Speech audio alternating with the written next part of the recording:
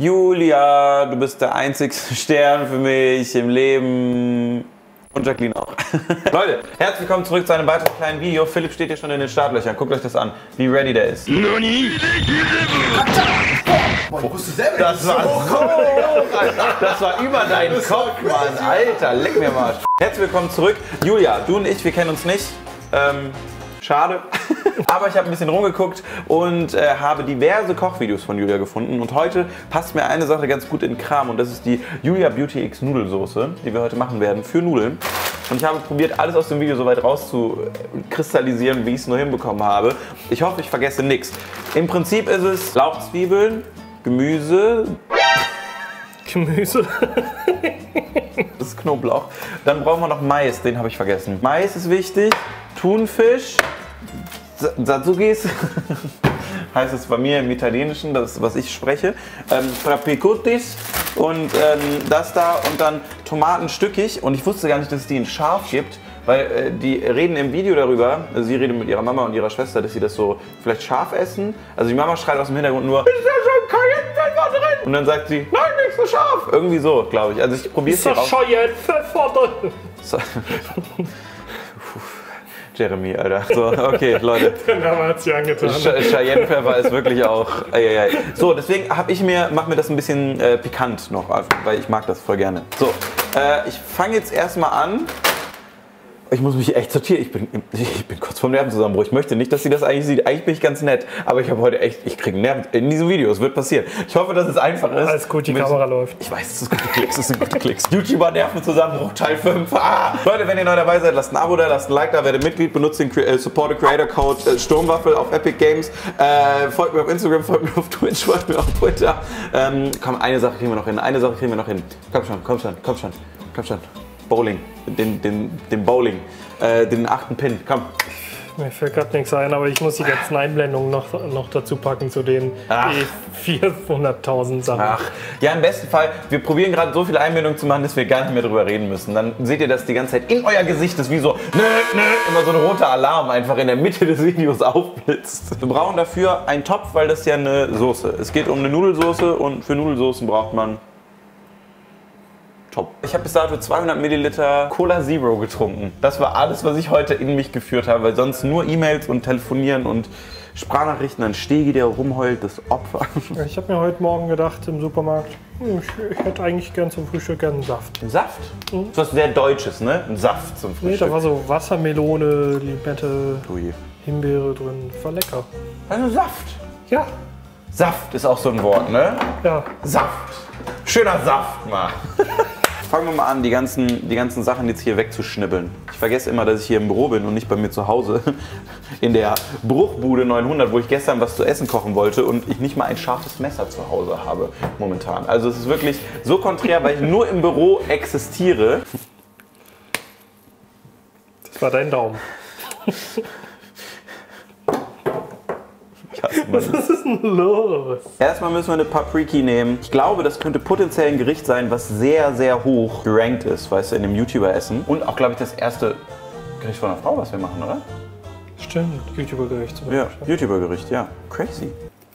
Läuft bei dir. Wir kennen uns zwar nicht, aber läuft bei dir. Richtig arrogantes Stück Scheiße. Läuft bei dir, dass du bei mir auf dem Kanal nicht auftreten darfst, weil ich dir ein Rezept klaue für mein absolut durchweg geklautes Kochformat. Ist das eigentlich auch Ihr Lieblingsessen?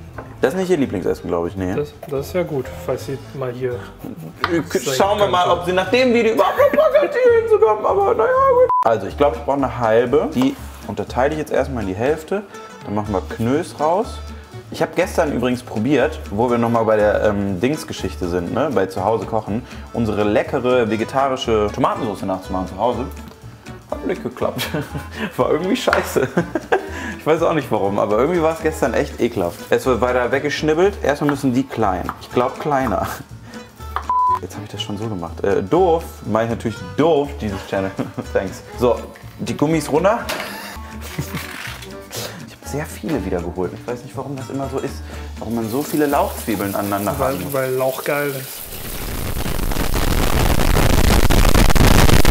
Wenn Revi das Video sieht, haben wir ein Problem, ne? Das wird er eh auf ewig gegen dich verwenden. So, zack, haben wir gemacht. Easy. Guck, Lauch. Zack, fertig, Lauchzwiebel.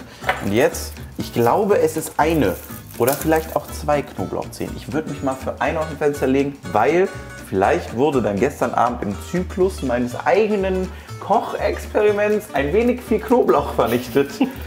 Was dann am Ende des Tages. So, dass es immer noch nachwirkt.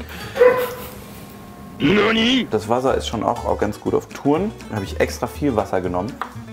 Ich mache immer das Ende weg vom Knoblauch, weil das mag ich nicht. Isst du das mit? Das untere Ende vom Knoblauch?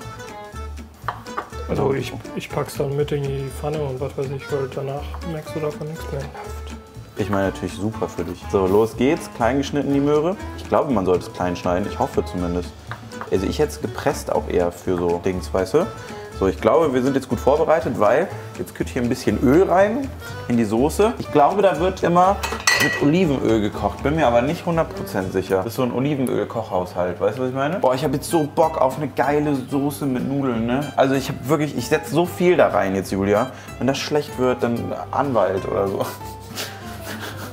Dann kommt direkt mein Anwalt. Ich habe keinen. Ich habe drei, viereinhalb. So, zack, zack und hier. So, nehmen wir uns mal hier so ein Böbbelchen. Damit man hier gleich das Ganze ein bisschen umrühren kann. Ich mache jetzt schon mal ein bisschen heißer, damit das schön hochköchelt, damit das auch natürlich ganz schön geil ist. Zack und zack. So, ich glaube, das wird. Ich glaube, das wird was, wenn ich dir das so sagen könnte. Sie hat es mit Fusilli gemacht. Ich glaube, es waren Fusilli. Hätten auch Camparori sein können oder Contemporanti. Ich kenne keine Irgendwas mit Ili. Comperilli, Macaroni Nililili. ähm, aber sind, glaube ich, Fusilli gewesen. Deswegen, ich hau jetzt einfach auch das halbe Kilo da rein. Ne? Ah. Hey Siri, stell einen Timer auf 9 Minuten. Okay, neun Minuten. Oh Gott, da fängt es an zu brutzeln. Äh, weil die sollten al dente, al guro, di al guro, semunala, sezzirolatana, di grando duro. Essere bapperi bupperi, straziatela, tusi frusi ice cream. Hä? Ist tusi frusi. Okay, Daily Racism hätten wir auch Hallo! durch. So, jetzt müssen erstmal alle Zutaten so leicht aneinander, umeinander angeröstet werden. Währenddessen kann man ja eigentlich ein bisschen die Zucchini Richtig, das mache ich nämlich jetzt. kürzen. Nachdem ich hier die reingemacht habe schon. Also das sieht jetzt schon sehr geil aus irgendwie, weil es so gesund wirkt. Wäscht man eine Zucchini. Ja, schon. Oh, es wird so gut und so bunt. Ich mag es, weil es so gut und so bunt ist. So, ich nehme mal eine halbe. Und dann Eine halbe Zucchini. Ilja, du kennst mich. Hier sehe ich aus wie jemand, der eine ganze Zucchini essen würde. Aber die ist doch voll klein. Ilja. Ich wollte nur mal den Namen sagen, es hat jetzt keinen weiteren Effekt gehabt eigentlich. So, ich glaube, reihenfolgenmäßig sind wir hier auf der sicheren Seite und richtig unterwegs. Jetzt kommt, glaube ich, der Mais dazu. Mais muss man, glaube ich, ein bisschen abträufeln lassen. Hier, hier wieder das Aber trotzdem nur eine halbe Zucchini. Ja. Also für meinen Geschmack, ja. Du weißt doch gar nicht, wie Zucchini schmeckt. Ilja. Ich habe viel gehört. Word on the street is Zu- Zucchini, no, no mini. Very mini meine ich natürlich. Zucchini is a mini. Ha. Uh. So, hier ist jetzt reiner Thunfisch, ein Filet. Ich hoffe, das habe ich richtig gemacht, weil nach wie vor Thunfisch. Ah, zack, hier habe ich jetzt ein geiles Filet oder so, keine Ahnung. Eigentlich ganz geil. Ich glaube, das ist auch das, was ich jetzt irgendwie brauche. Irgendwie, ich weiß auch nicht, aber irgendwie habe ich manchmal, seitdem wir hier beim Lieblingsessen so ähm, Thunfisch hatten, hatte ich manchmal Bock wieder auf Thunfisch. Ich glaube, ich habe mein Leben lang irgendwie ich bin so am Sabbern gerade, weil ich diesen Thunfisch da drin sehe. Das ist unfassbar. Äh, ich weiß nicht, ob das gut ist oder richtig, was hier gerade passiert ist. So, das Ganze werde ich jetzt noch mal ein bisschen anbrutzeln lassen. So, komm. Sehr gut. Riecht thunfischig. Dann fehlt eigentlich nur noch, glaube ich, das hier und Gewürze, ein paar. Ich werde natürlich schöne Cayennepfeffer dazu auch noch reinhauen, das Oregano. Ich will immer Urigella sagen, das Oregano. And now, watch the thing bend itself. Amazing. Ey, ohne Mist, ich vermisse so ein bisschen. Stell mal vor, wie geil es wäre, wenn Uri Geller nochmal diese Magier-Sendung heutzutage hätte. Und da wäre nochmal Vincent Raven. Ah. Das war damals schon so lächerlich.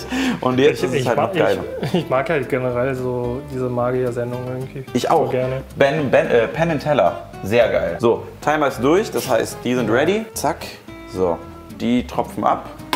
Auf entspannt. Und das hier ist jetzt auch leicht angebrutzelt. Dementsprechend würde ich jetzt, glaube ich, mal die Soße da hinzugeben. Beziehungsweise das hier.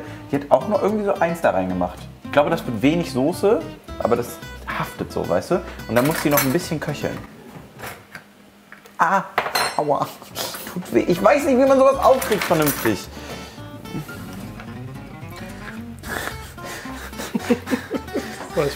Nein, krieg das hin, bin männlich. Kein Problem für mich, also ich weiß gar nicht, wie. Ich würde mich da nicht anstellen bei sowas. Das sind jetzt stückige Tomaten. Schon ordentlich, ne? Hätte man auch nicht gedacht. Boah, aber irgendwie sieht's geil aus. Ich weiß auch nicht warum. Irgendwie, irgendwie könnte das lecker sein. Nicht 100% sicher warum, aber lecker. So, jetzt, wie gesagt, wird das Video, weil es halt so ein halber Vlog ist, so ein bisschen fragwürdig und ich muss jetzt improvisieren. Weil sie sagt noch, das muss jetzt gewürzt werden und man hört die Mutter ja von Cayennepfeffer schreien. Dementsprechend denke ich mal, da muss Cayennepfeffer rein. Und wenn da Cayennepfeffer rein muss, dann heißt es bei mir, habe ich gelernt, ordentlich Cayennepfeffer muss da rein. So, zack. Zack. Oh, oh, oh. Hab, glaube ich, was falsch gemacht. Beauty X Mama, Beauty X Mama, was habe ich getan? So, ähm, so Nummer uno. Salz, Leute, lassen wir uns nicht nehmen. So, salzen. Geht immer. Schön ordentlich. Bin ein riesen Salzfan. Aber wo köchelt das jetzt hin? Das ist ja jetzt schon sehr viel. Sehr Ja, einfach ein bisschen einkochen. Einfach in sich einkochen, weißt du, dass es so eine Pampe wird. Und das ist echt, echt wenig Flüssigkeit. Ja, ist normal. Richtig. Ich halte mich hier an Vorgaben, Ilja. Ich kann dir jetzt nichts dazu sagen, was du hören möchtest. Sah es bei im Video auch so aus? Ja, es war eine sehr, also eher so eine Pampe halt, sag ich ja. Aber das ist halt nichts Schlimmes. Ich brauche das auch. So, noch ein bisschen Paprikagewürz ist bei mir immer normalerweise in so Tomatensoßen mit drin. Ähm, äh, Chili-Pulver könnte man, muss man nicht. Schauen wir mal. Paprika edelsüß natürlich noch ein bisschen. So, geil. So, jetzt lassen wir das mal kurz ein bisschen, ein bisschen in sich ein, einwirken. Dann rühre ich auch ein bisschen weniger um. Und dann sehen wir uns jetzt gleich sofort wieder. Und das Ganze jetzt noch so, keine Ahnung, 10 Minütchen oder so vor sich hin köchelt. Finde ich gut, Leute. Bis gleich. So, da sind wir wieder. Ich habe Teller in der Hand. Ich wusste nicht, wie ich es anders machen soll. Ui, sieht gut aus, aber ich, ich freue mich gerade. Es sieht wirklich sehr ähnlich aus. Sieht doch ganz geil aus. Guck mal. Thumbnail. Ein Tellerchen fertig. Zaubern wir mal ganz kurz die ein, zwei anderen Tellerchen noch hier. Zack. So gut, damit die groß und stark werden natürlich, ne? Zacki. Ich hoffe, ich hoffe, es schmeckt. Ich habe es übrigens gar nicht probiert, ne? Es könnte jetzt alles passieren in den nächsten paar Sekunden. Es könnte alles passieren. Und dann ein letzter. Das ist wie ein Restaurant, Alter, in so Akkordarbeit. Und dann musst du noch fünf Sterne und das alles super aussieht, könnte ich direkt kotzen. So. Deswegen bin ich kein Sternekoch. So, zack. Nur deswegen. Ansonsten könnte ich, seht ihr ja. So, zack. Einfach ohne Sternkoch. Fertig. Stell dir mal vor, du würdest einfach ein Restaurant aufmachen, nur mit Gerichten von YouTubern. Bald hätten wir es. So, zack, die ganzen Sachen kommen auf den Tisch. Kommt mit. Äh, äh, äh, äh. Gib Essen, Jungs, gib Essen. Kommt mit. Hier, ui. Die Jury ist eingetroffen, Alter. liebe das einfach, ne? Julia Beauty X, beste.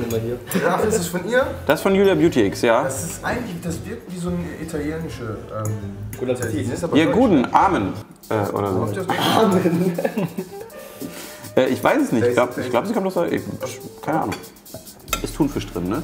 Ja, ja. Falls jemand unterträgt. Und schmeckt? Gemische. Boah, ist echt gut, ey. Also ich habe Hunger und das ist perfekt. Boah. Ui. Das schmeckt wirklich, ne? Bisschen scharf. Übelst geil. Bisschen scharf, aber das wollte ich auch.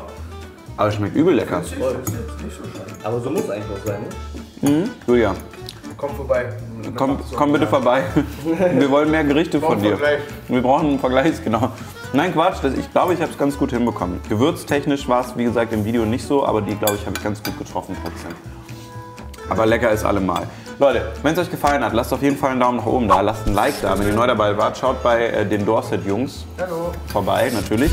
In der Dorset GmbH, in der Dorset. Brothers. Ihr lacht auch komplett identisch, ne? Das ist so krank, auf einer anderen Tonlage einfach. Echt? Ja, ja. Leute, wir sehen uns beim nächsten Mal wieder. Bis dahin, haut rein. Schaut bei Julia vorbei, ich habe das Video verlinkt. Bis dahin. Tschüssi. Ah. Ah, ah. Gut, Video ist vorbei. Ist aber nicht schlimm. Like mein Scheiß und lass ein Abo da. guck mehr Videos, guck, guck mehr Videos, mir fällt nichts mehr ein. Tschüss.